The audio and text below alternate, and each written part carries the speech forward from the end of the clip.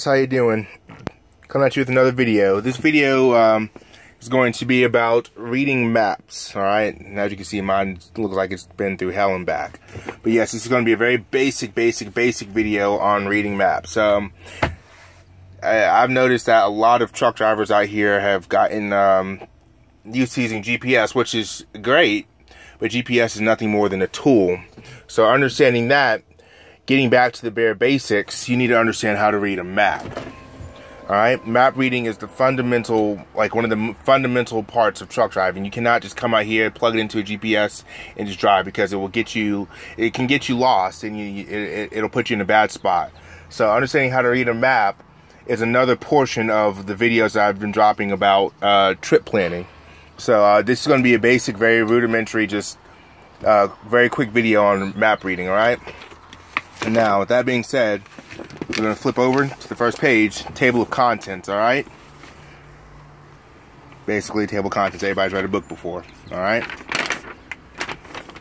Talking about hazmat. Once you get your hazmat license or endorsement, I should say, uh, this will be this will mean more towards you. Then you have a portion of the map that talks about the uh, pre-trip and post-trip inspection. All right, talks about IFTA, uh, things of that nature. Now, I'm going to skip over to a part that's uh, very that's important to.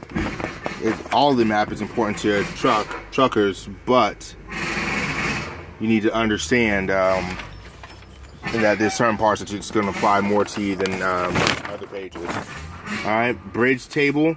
This is very important right here. This will let you know the distance uh, when when you have the um, the distance in feet between the extremes of any group of two or more consecutive axles. Basically, this side right here is the feet, right? This side right here talks about how many axles your truck will have, all right? Now, that being said,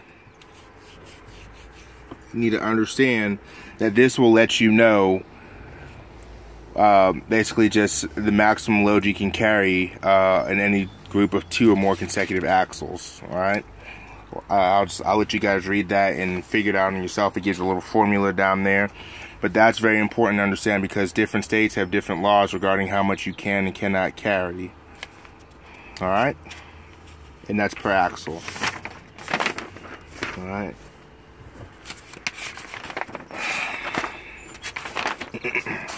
This section right here that I just flipped to you real fast by accident flipped away from, very important section as well. This will let you know what roads you can and can't go on and what um, where where you have a low clearance because as you will learn a truck is 13 feet 6 inches high now these pages right here will let you know what road what interstate, what highway, whether you're going eastbound or westbound. It will let you know where there's a weigh station. It will also let you know the height of the bridges that you will come across. So this is a very important part of uh, doing a pre-trip, or excuse me, trip planning. So as you can see, you flip through it, it goes through all the different states. Uh, the reason I'm flipping through this pretty fast and doing a very quick video on this is because I'm about to actually show you the the um, the trip planning that I did for the load I just finished. They're currently unloading me at the moment. So I'm to make both these videos back to back, but I wanted to have an individual video for maps. All right. Now, this is the part that's talking about Canada. All right. This page or these pages right here will show you the different time zones and their borders. All right. Eastern Standard Time, Central, Mountain, uh, and Pacific. Now we get into the actual maps, all right? I'm gonna go over to Georgia map. Understanding how a map works, all right? I'm gonna go with up here. Well, I'll start with the map as a whole. If you look at the map, you will see that there appear to be uh, orange lines throughout it. Those orange lines are actually the routes that a semi truck can drive on. All right, throughout the uh, these are the highways and the roads and the interstates that run through Georgia to let you know what roads you can and cannot go on on a semi truck.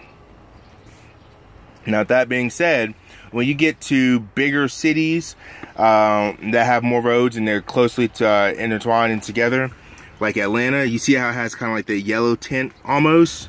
If you look, it's going to be hard to show in the video uh, on camera, but if you actually look around Atlanta area, there will actually be a kind of grayish box that goes around it.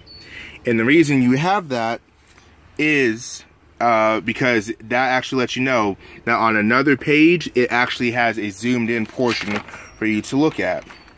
So, just like I showed you the Atlanta area, if you flip over to the next page, here it says, you see how it says Atlanta and vicinity? If you look at it, it will actually show you a more in-depth uh, look at the uh, surrounding roads and the way the roads intersect and whatnot in the Atlanta area. So, flip back. All right. Another portion to look at and understand is you need to understand uh, what the symbols mean in the map. All right. As soon as I can find the page with it, I'll be able to actually show you guys. Contents in legend, state, provincial, and city maps and indexes. All right very important right here. This part breaks down which page each state is on in alphabetical order. The map legend will be your friend. This will let you know what different things mean on the map. So when you come across them, like, oh, I'm not sure what that means. You flip back to the legend, and it tells you what that particular symbol looks like or what it means. All right. Now, that being said, as you can see, you have the symbol right here. This symbol that means weigh station. That's exactly, that means that's a weigh station on that side of the interstate. You see the red dot outlined in black with the arrow that points to whatever side. That will let you know that what side of the interstate it's on. All right. So you see you have a weigh station here, weigh station here, uh, weigh station right here. Actually, a weigh station on both sides because I live out there, so I know exactly where those weigh stations are. I also know how to skip the weigh stations because I live out there, so I know exactly what exit to get off at, but I never skip them because I always ride legal. All right. That being said, you will also notice, all right, you see those green boxes right there? This is I-20. See those green boxes? Those represent exits. All right. All those green boxes represent exits. As you will see, as you progress down I-20 from um, going from west to east, the numbers get progressively larger all the way till you get out here to Augusta where I live. And as you can see, like I said before, it kind of has the yellow tint. And it also have the gray, I'm to try to zoom in as much as I can. You see that gray box right there? The gray box. Uh, get Actually, let me get a pin so I can point to it because my finger just takes up the entirety of the screen. Alright? As you can see, the gray box that goes around Augusta. I'm gonna put a marking on it right there. Right there. You see how it kind of goes around? Right there. The gray box. That will let you know that the cutout for that area, that will show you what's everything zoomed in in that gray box. So the gray box right there of the Augusta area is up here on the same page. You see how the area that is outlined in that gray box is up there and it gives you a closer and more in-depth look all right, now what you can actually see is, if you look closely, this is I-20. I-20, as you can see, has 200 exits in Georgia. Now, with that being said, typically states will have exits lined up with the mile marker in the state. So as you see, there's 200 exits on I-20 in Georgia. If you come over here, this portion of the map right here will tell you the interstates and how long the distance you have of uh, the interstates for that interstate in the particular state. So, as you can see, there's 200 exits for um, I-20 in Georgia, and there's 203 miles. So typically, you will have, oh, I just leaned on my horn. by accident. Typically, the number of miles will match the exit. All right. So basically, what I'm getting at is, let's say you're driving down the road, and uh, I live out in Grovetown. All right, that's where I live. Not gonna say my address, but yeah, that's where I live. Okay. I know to get off at my house, I need to get off at the exit for exit uh 190. All right. 190 also happens to match up 190 is right about here because that's the weigh station like literally a mile up the road is where I, where the exit from where I live so like literally weigh station where I live and there's also a good nice little truck stop right there in case anybody's passing through Augusta it's a nice little truck stop right there and there's also several other parking spots around that area that's not in a truck stop book but yeah, if you look, you'll find a spot to park your truck. And the Walmart out there doesn't care either. That's a heads up. They said they have a sign that says no trucks, but they don't care. Um, so yeah, but that's the 190 that also coincides with the 190 mile marker. Now, I want to caution you because not every state is like that. I specifically marked off Vermont. If you look on I-91 in Vermont, you go all the way to the top. Oh, snap. What? Vermont's only like, what, 28, 29, 30 miles long? Vermont's not a very big state. However, if you look up here, I-91 is 177 miles long. So be aware that there are some states that will have like the exits are so the the exits will go in numerical order, but they don't necessarily match how many miles that state has. So you, that's part of uh, trip planning. Looking at the states, looking at where you're going through, look at what your um, look at what your, uh, I'm trying to talk on, it's getting a little toasty in here. Look at the road you're going to go on. Look to see if it's uh, you're able to drive a semi truck on it or not. Most of the time, the company's going to give you a routing that's pretty pretty good with keeping you off of roads that you don't need to be on. But never hurts to second guess and go look at your routing versus what the GPS says, and uh, figure out your own plan in case it does route you somewhere that you don't need to be. So yeah, um, another few small things. If you notice, odd number interstates run north and south. Even number interstates run east and west.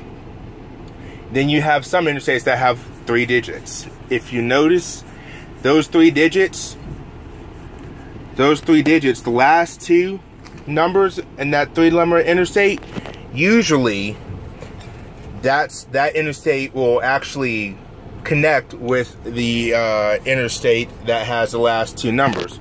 Uh, I'll give you an example. I'll go back to Georgia. Out where I live, we have Interstate 520, also known as Bobby Jones. As you can see, it says 520. Not 420, don't get excited, people. 520. It intersects with I-20, all right? It runs east and west. At least it says it runs east and west, but yeah, basically that's the way that's the way it would be if you use a GPS or reading the map, east and west for 520. You also see how it starts with an odd number. 520. The last two are the parts of the interstate that it intersects with the main interstate. The first number is odd.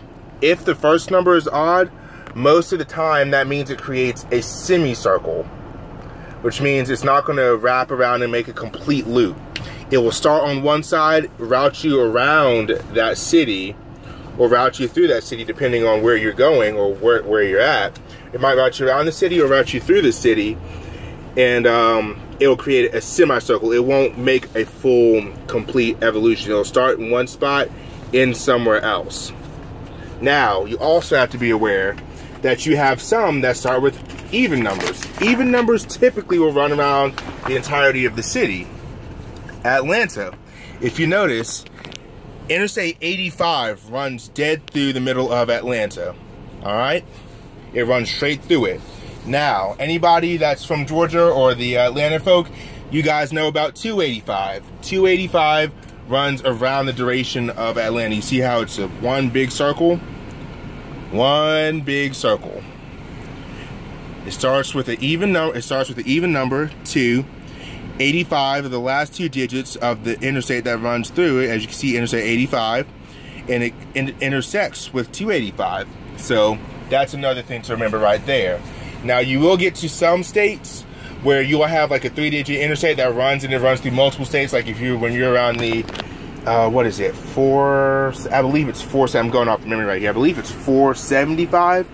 Um, when you're up in the when you're up in the northern part of Kentucky, Ohio slash Indiana area, 475. I believe it hits like all three of those states, and uh, it'll go from like east to west to north to south, just depending on what state you're in. So yeah, just be careful of that. Don't get it confused. But yeah, if you have any other questions, drop them in the comments. Also, send me an email to my second email address, jevicboy2 at yahoo.com if you have any more uh, questions regarding this topic. Like I said, it's a very quick, very basic map reading video. And uh, yeah, remember to like, comment, subscribe, guys. Have a wonderful day, and I'll be coming at you guys with another video showing how I planned the trip for the voyage I just finished and how all this will come together. But I had to drop this video first. All right, guys, take care.